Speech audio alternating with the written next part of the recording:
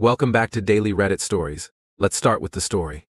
My son's affair with my girlfriend shattered our lives. Now, I'm struggling to find a path to forgiveness.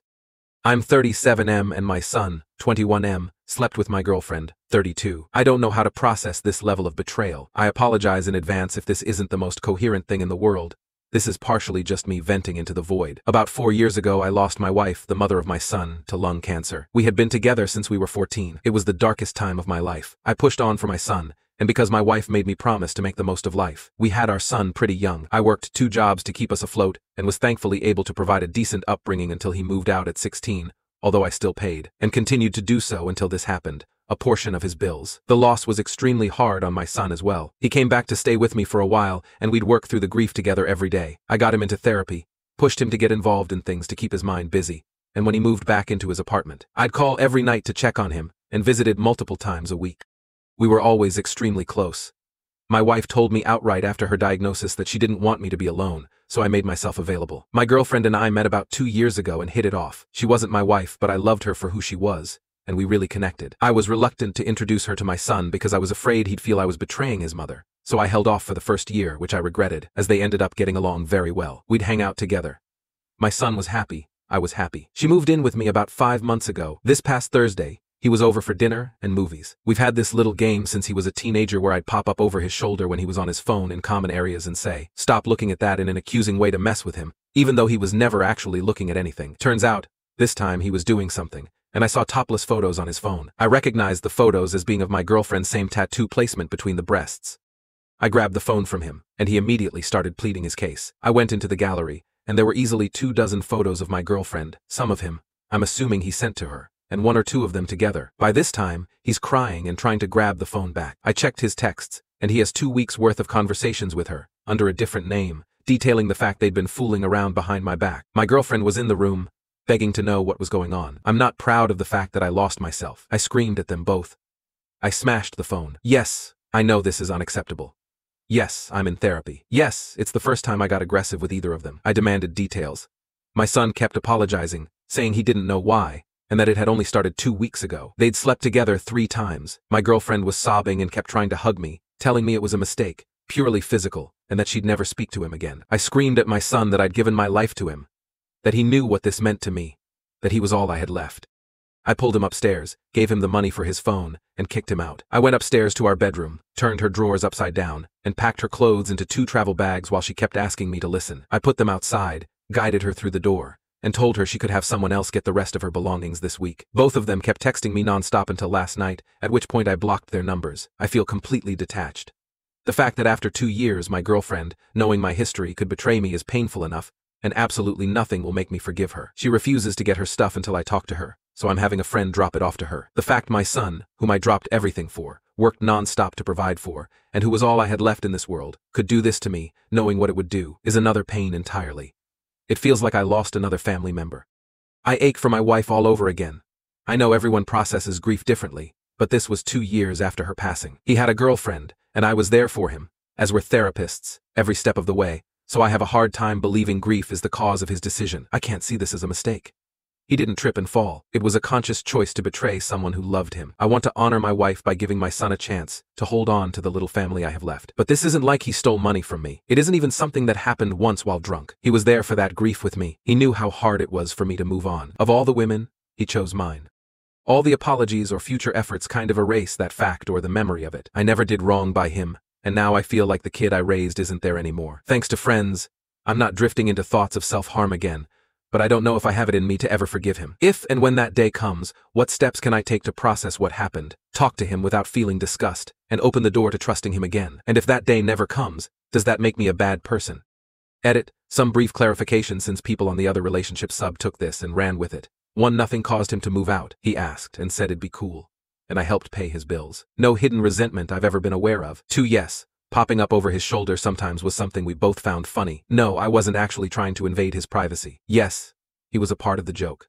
Three yes, I know I was aggressive. I paid for the phone, and we'll be discussing it in therapy. Four yes. I know this sounds like something out of a movie. It's not. Update, first off, I'd like to thank everyone for the enormous outpouring of support. I've had numerous people offering their well wishes privately, and such compassion from those who commented. I believe it was this support, as well as that from my friends, that kept me from doing anything stupid. I'll try to keep this as concise and short-sentenced as possible. It's been a busy couple of days, to say the least. I unblocked both their numbers shortly after posting. My now ex called again that night, which I answered. I told her if she wasn't calling to make plans to pick up her stuff, I was hanging up, and we decided on the next morning.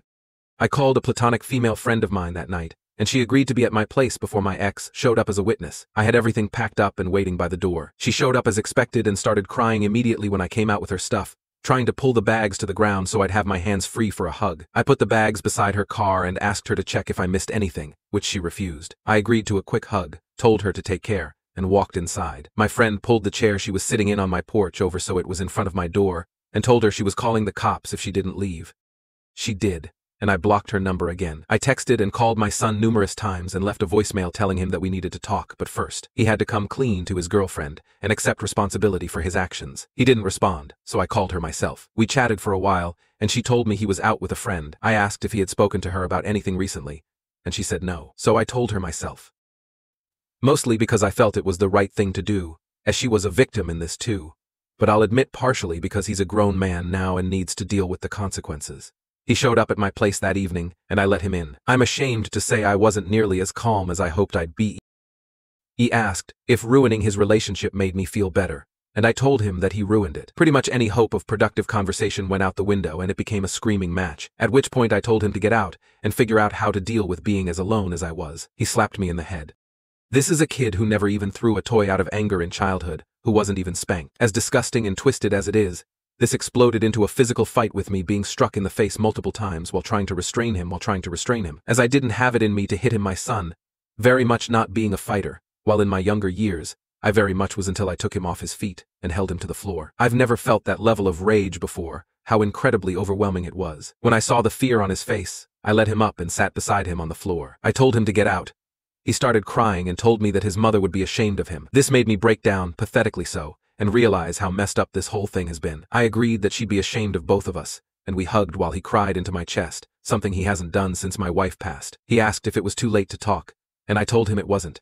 I cleaned myself up, we sat at the kitchen table, and talked. He told me that he'd stopped therapy a while ago and lied about it because he felt it wasn't helping. He told me that he was hurt when I kept my girlfriend from him the first year because, although he knew it was to prevent him from getting attached if it didn't work out, he still felt excluded. It came out that he hid a very well-concealed alcohol problem from me, and even from his girlfriend. He told me he didn't sleep with her despite me, that he was just feeling lost and made a stupid choice. I asked him why he couldn't have been honest with me before it came to this, and he told me he didn't feel like he could be honest with himself anymore. We cried together again, prayed together despite neither of us being religious, and looked through family photo albums together. We discussed the road forward, and we agreed that the loss we both felt went far deeper than we thought. We decided to attend therapy together. We're going to look into support groups, both for his drinking and other families dealing with loss, now that he's without his girlfriend, and I'm aware of the extent of his issues. I agreed to let him move back home with me so I can make sure he attends his appointments and avoids alcohol. Hopefully we can bond again, with the stipulation that any more violence, and he's out the door. He asked me if I can ever forgive him, and I told him honestly that I couldn't, but he's still my son, and I love him. And I reminded him of what his mother told him when he was a kid that everyone messes up, but it's what you do afterward that makes the difference. I'll never forgive what he did, but if he learns from this and becomes a better person, then I can forget it and have a great relationship with him regardless. Aside from the fact that my lip resembles the mouth of the vampires from Blade 2 for now, which has prompted concern from neighbors and friends, the past two days have been great. We've been talking, we cooked dinner together, we've gone on walks, and we're set to start looking into professional help this coming week. He's incredibly apologetic and has a tenderness I haven't seen from him in years. I have no illusions about the amount of work to be done nor how serious this incident was, but I'm feeling very optimistic about the future. Thanks for watching till the end, wishing you an awesome day. Feel free to drop a comment if you've got more to share. I'd love to hear from you.